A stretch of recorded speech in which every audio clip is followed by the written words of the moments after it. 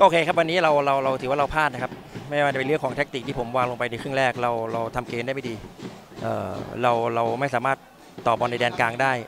เออเราเราเราเข้าขบอลสู้เขาไม่ได้จริง ๆ ครึ่งหลังเราเราได้มาเร็ว เราคิดว่าจะกลับมาได้ แล้วก็ก็ทำไม่ได้ครับ ก็ก็ถือว่าวันนี้เป็นการผิดพลาดของของทีมงานสตาฟน้องๆทุกคนทำเต็มที่แล้วนะครับก็ในส่วนตรงนี้ก็จะไปแก้ไขอย่างที่บอกนะครับระหว่างทางอาจจะมีในเรื่องของสะดุดบ้างอะไรบ้าง นะครับ เอ่อเป็นหน้าที่ผมที่ต้องไปแก้ไขนะครับก็ก็ต้องขอโทษแฟนบอลขอโทษผู้บริหารทุกท่านด้วย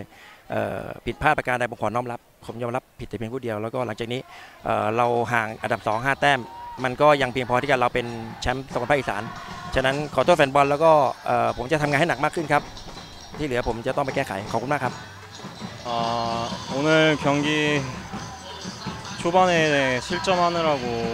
두 골 먼저 내주고 해서 어렵게 경기 시작했는데 어, 후반에 노력해서 한 골 따라잡았는데 어려 끝내는 동점도 못 만들고 졌습니다. 죄송합니다.